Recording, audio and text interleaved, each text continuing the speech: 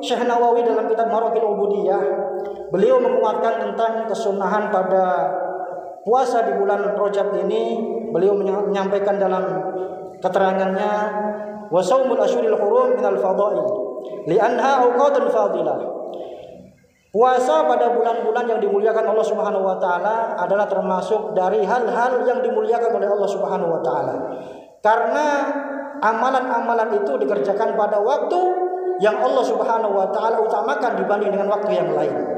Wahiyadul Qa'dah wa Dzulhijjah wal Muharram wa Rajab, yaitu bulan Dzulqa'dah, Dzulhijjah, Muharram dan Rajab.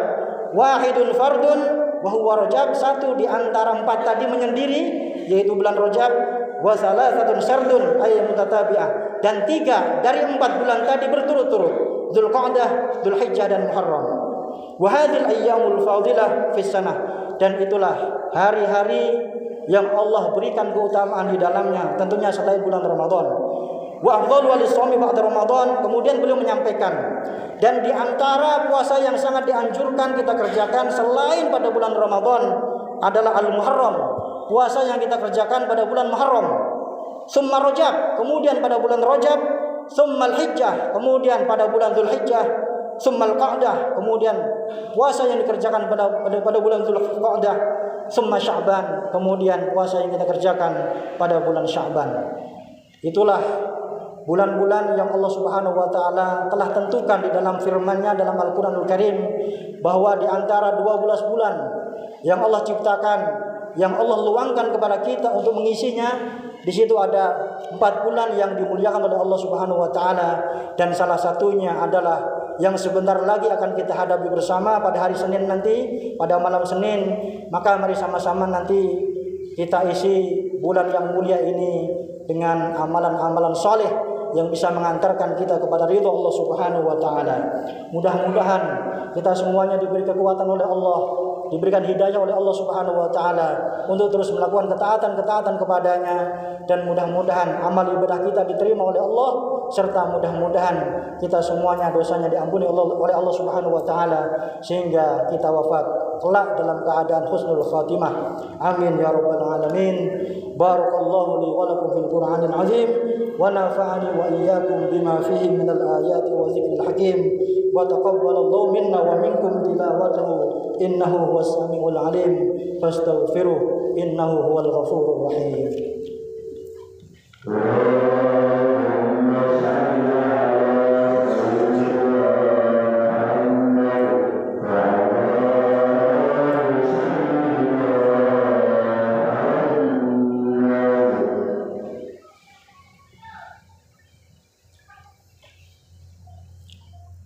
الحمد لله وكفى.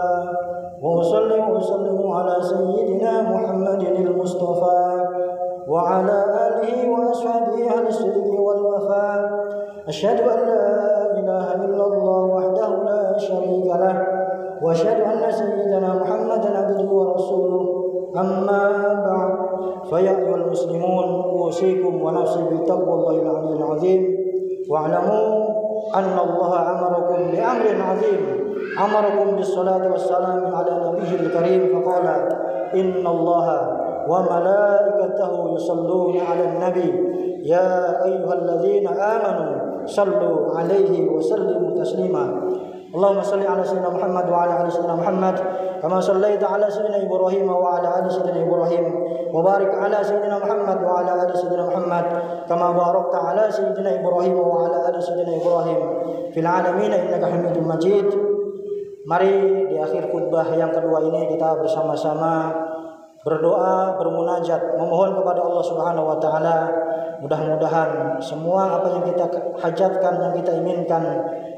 baik keinginan dunia ataupun akhirat mudah-mudahan Allah Subhanahu wa taala kabulkan. Amin ya rabbal alamin اللهم اغفر للمؤمنين والمؤمنات والمسلمين والمسلمات الأحياء منهم والأموات. اللهم إنا نسألك من خير ما سألك منه نبيك محمد صلى الله عليه وسلم. ونعوذ بك من شر ما استعاذك منه نبيك محمد صلى الله عليه وسلم. وأنت المستعان وعليك البلاغ. ولا حول ولا قوة إلا بالله العلي العظيم.